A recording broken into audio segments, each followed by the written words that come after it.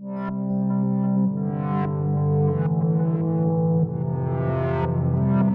Grant Leonard from Nelson Alexander Real Estate. I've been working in uh, the inner city and at Nelson Alexander for the last 15 years. I love working in the inner city, I love real estate, uh, I love dealing with people, helping them to buy and sell, uh, and just really love the, love the job. My biggest uh, advantage is, is really behind, behind myself is the company of Nelson Alexander, our, our network through the inner city, uh, and my experience working in the uh, inner city over the last 15 odd years.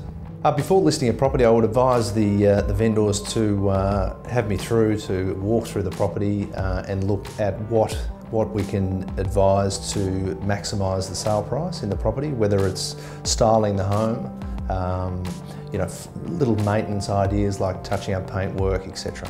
I believe the advantage is that selling at auction, uh, you're not limited with price. Uh, you, if we have two, three, four buyers competing for the property, that can really drive the price higher than uh, where it really should be.